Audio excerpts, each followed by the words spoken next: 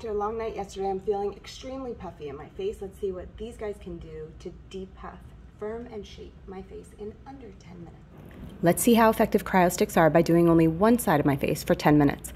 I keep these cryosticks from Biologique in the freezer so they are super chilly. The cold from the cryosticks against my skin gives a burst of fresh circulation, which is great for slowing aging and skin health.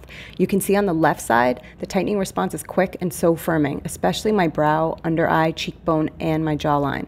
I love that I don't need to refill anything, nothing new to buy or throw out. It's sustainable beauty for the planet and my pocket too. I do this at least one to two times a week. If you have an event coming up, try three days in a row and see the glow and firm on your face too. Have you tried CryoSticks?